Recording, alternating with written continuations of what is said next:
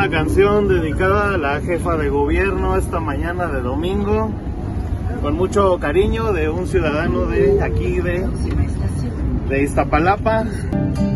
Haces muy mal en elevar mi tensión, en aplastar mi ambición, pero sigue así, ya verás.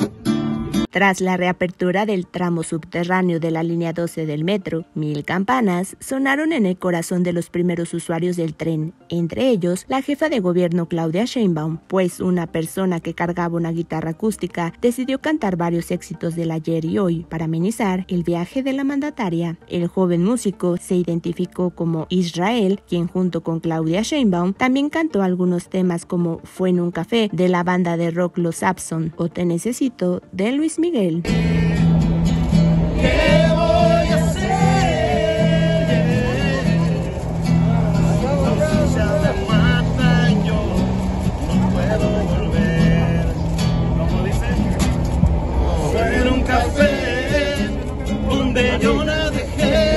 Con una sonrisa en el rostro y bien agarrada de los tubos del tren para no caerse, Sheinbaum estuvo acompañada de funcionarios como Andrés Layous, titular de movilidad, Guillermo Calderón, del sistema de transporte colectivo Metro y de gobernación, Martí Batres. La jefa de gobierno, Claudia Sheinbaum, reabrió el tramo subterráneo de la línea 12 que va de Mixcuac a Tlalilco, donde se espera que 175 mil usuarios se trasladen al día.